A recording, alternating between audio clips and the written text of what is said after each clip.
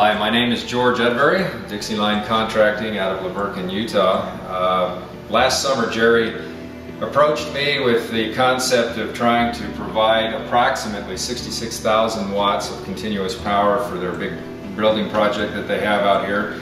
Being in Zion National Park, there's no power lines. There's no way to get power lines in here, of course, because it is a national park. There's quite a few issues with that.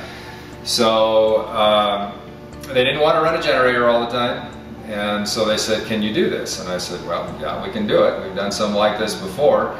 But uh, this one's going to be a little different than the average. And so he gave me a spreadsheet from the electrical engineer showing all the loads they had. And they wanted approximately a three to five day bridge, hopefully, without having to have the generator run most of the time when uh, they weren't here. And if they were here full time, then it might need to run part of the time. So what we wound up doing was uh, starting out with, you know, most, most inverter technology doesn't allow you to stack inverters to the point where you can have this whole big bank of them running one project. Uh, there are a couple of brands that do that, but we went with the Xantrex brand, the uh, XW series inverters, because they are very user friendly. Um, not only are they reliable, but we were familiar with them, so we kind of stuck with that. And in order to accommodate the various load centers that they had in the house, we put one bank on here. This particular bank runs the um, uh, outlets and heating systems in the house and so forth. And the one on my right is strictly for the mechanical room. That's running water pumps, uh, fire suppression pumps, um, you know, what you see in this room. And then there's another bank we'll look at later on the other side of this wall that is strictly for lighting. Uh, the house has a lot of backlit marble floors that take a fair amount of energy, so we dedicated one bank just to that.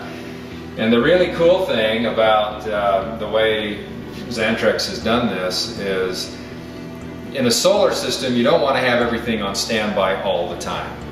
So, you know, you don't want these, these are all transformer based inverters, so that means you've got a big coil of copper in there that has to be lit up all the time, and that takes energy. So what we decided to do was use this product where this is set up as the master unit in this cluster and the remaining ones are set up as slaves. Well, these are all asleep until a sufficient load comes on that they need to wake up. So basically you've got, you know, I don't know the exact number, but it's something like 30 watts of energy just to keep this on standby and then of course it, you know, wakes them up as they go. But it's so instantaneous. That's that's what we love about their equipment. You have almost no voltage drop and it's just like bang, immediate. You can turn a big heating compressor on, you can turn air conditioning on, you can turn whatever. And in a split second, they're all on and going full blast. So we've been we've been really happy with that. Um, we needed a way to tie all of this together because one of the things that Jerry said is that you're going to have to be able to watch this thing from down in the valley. And so that was a little bit of a challenge. And I know that when when we first approached Xantrex about it, they said, uh, good luck, call us and tell us how it works. so we worked pretty closely with them and we actually, we actually succeeded. So what we wound up doing for being able to monitor uh, the equipment was we used a what's called a gateway from Xantrex. That's these black boxes here, uh, one for each cluster of inverters and one for the charge controllers that you will see on the other side of the wall in a minute.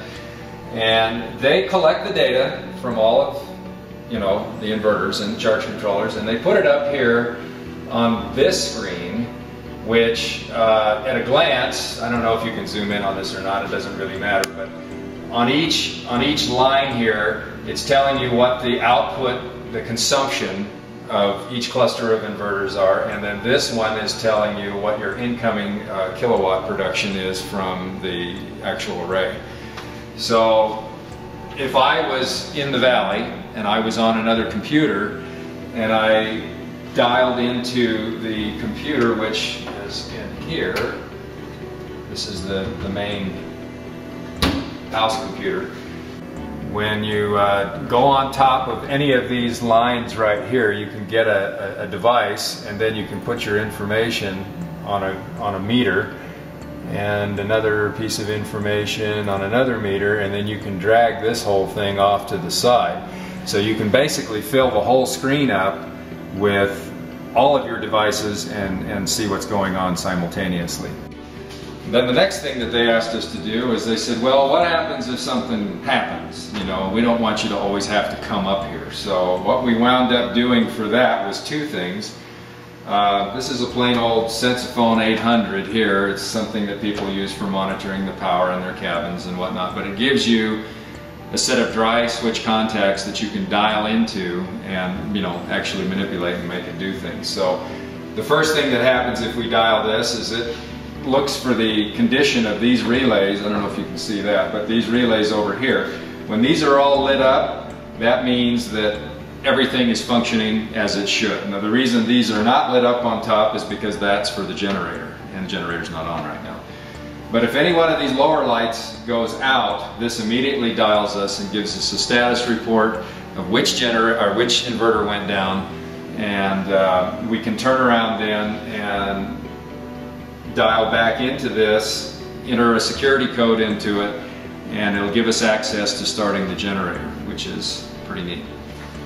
Okay, now we're on the other side of the wall from where we were just a minute ago. Um, what we have on this back side are all of the charge controllers that come and bring the higher voltage power from the uh, arrays and step it down to our battery voltage, which in this case is 48 volts. Um, most of our arrays operate at approximately 300 volts. These will allow them to go all the way up to 600.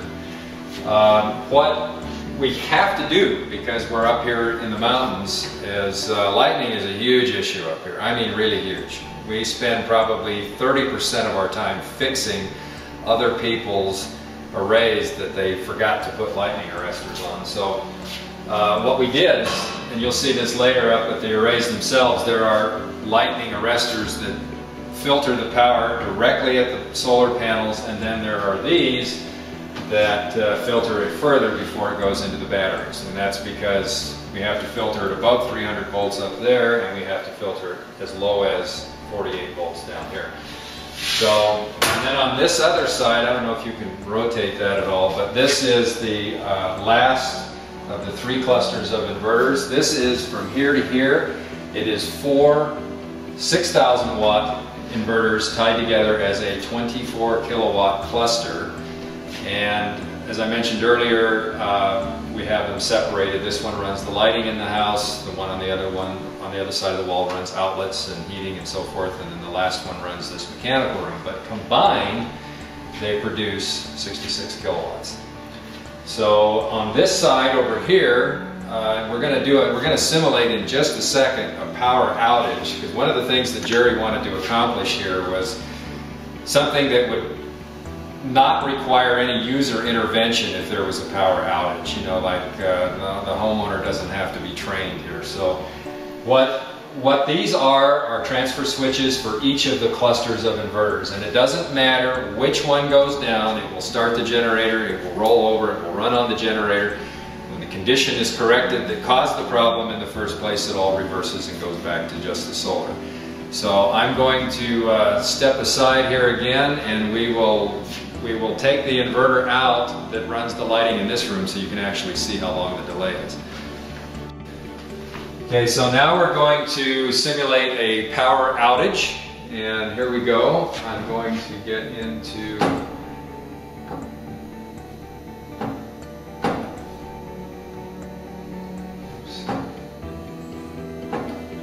I have to program this to make it do it. Okay, here we go. Lights went out, it's approximately, and you'll notice that some lights went out here. Now the generator starts. And there will be approximately a five second delay and there you go, you're on. That would be the longest power outage that you could possibly have if it went down. And now, the next thing that we're going to wait for here just briefly is uh, while that generator's on, it's going to take advantage of that power and charge the batteries. Just waiting for it to synchronize here. It takes about a minute. So now you can see that uh, after a short synchronization period, every one of these inverters is producing the same amount of power uh, to charge the batteries, but at the same time it's actually running the loads. So now we're going to simulate a correction of the uh, power, whatever the problem was, being restored. And so